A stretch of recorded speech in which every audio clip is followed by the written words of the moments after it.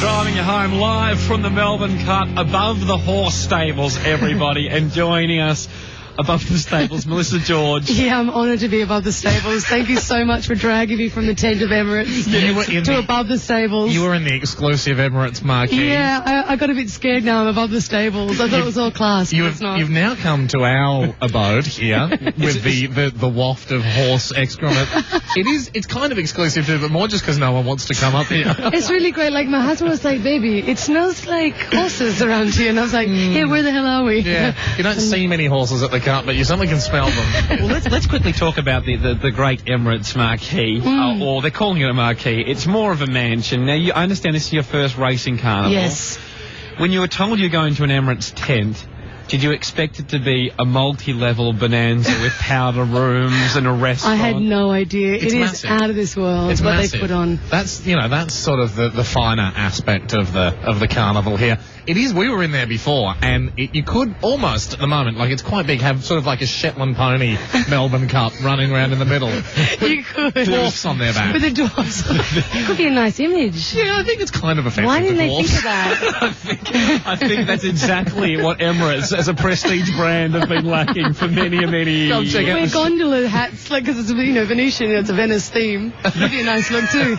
Hey, now, can you describe your outfit for us? It's um, it's purple. It's like a beautiful purple. No, purple. I can't let a guy describe an outfit. It's like a Let me describe an purple outfit. curtain. God, you, you purple curtain.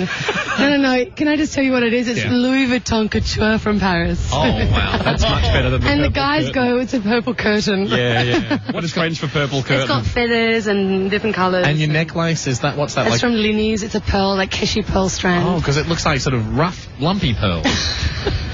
Yes, they're not the, the pure smooth pearls. Keshi pearls are the ones that sort of grow out of like without a nucleus. So they're more almost like gifts of nature. so they're are they more I'm a rare? gift of nature right now. Yeah, I know. Are they rarer? It's out. They're rarer. Lumpy. Is that is that yeah? They're lumpy. Oh, not wow. quite perfect. Is is actually a nice pearl. great. Listen, Yeah. I mean, the, the, the, the race that stops the nation is what's described as, the, mm-hmm. as the cup. You are obviously outside of this nation quite a bit, doing movies around the Yeah. world.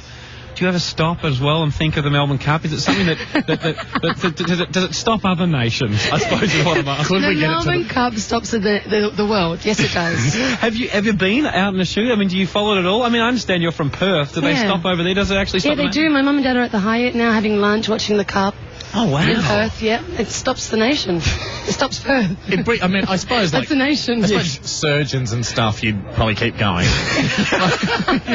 you wouldn't want to wake up and have. No, no, no. They take the day off. I'm sorry, Melissa. They keep them asleep throughout the cup, and then they go in there for the for the operation. There was you a complication. We were just about to uh, fix your lungs up, and then the race started. So one of them has deflated. The doctor one, yeah. we don't want to go against the saying. Um, Melissa, we wanted to, uh, to kind of finish up here. Um, Hamish's housemate John. My housemate John reckons housemate? he knows you. I have two housemates. You don't live alone? No. God, I thought you guys were doing really good. Hey, No, Melissa, hey, Melissa, Melissa. you're talking to some guys broadcasting from a stable. Stables. And one This of is- them. No, no, no. I one hear you guys are doing really good. We got to get rid of the housemate. And one of them is wearing the exact same tie he wore at his 21st. I rocked up and I said, No, what? It's, Oh, it's, this is my 21st time, but it's a good time. That's your 21st time? I said, hey, Why do you have to throw ties out? No, you do. You just have to wash them since your 21st and also evolve. That's a good one, though. It's it's Louis Vuitton It's Louis Vuitton. slash Roger David. Is Roger David? They're cheap but good. Let's not get too sort of caught up in the rest of the suit's country road. That's lovely. Country Okay. road's the best. Just, I just, love a, country road. just a dodgy tie. Yeah. Hey, my housemate John reckons he knows you from Kalamunda back in Perth, right? Roller skating? He used to roller skate. he used to be a speed oh. skater. And he says that he used to train with you. Does the name John Darnell Yes, of course. ring a bell? That's your housemate? Yeah, John Wow. Darnell. and used to do roller skating. I was a champion skater, and, and when you said Kalamunda, I thought the only thing in Kalamunda was his great roller skating ring, so I had a feeling it was. Now he told us that the that there was a move that you do called the the rolling camel or something. Is there like a Um, the traveling camel. Traveling camel. What is that? When you imagine that word, it What's gives you this weird image, right? Hang on, John's. at- We, we were laughing at John. We go, we're going to bring this up, and Melissa's going to go. No Traveling idea. camel, yeah. What's I did them really good. What is what's the traveling camel? You're on you one just- skate, the other leg is way up in the air, Yeah. and you're flipping down the, the roller Oh, skating yeah, rink. like how you see camels do that all the time. Yeah. yeah, in Broome. Haven't you seen them in Broome?